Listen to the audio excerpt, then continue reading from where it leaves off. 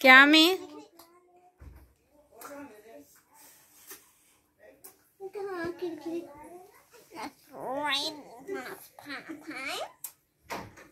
Wow, that's so tired.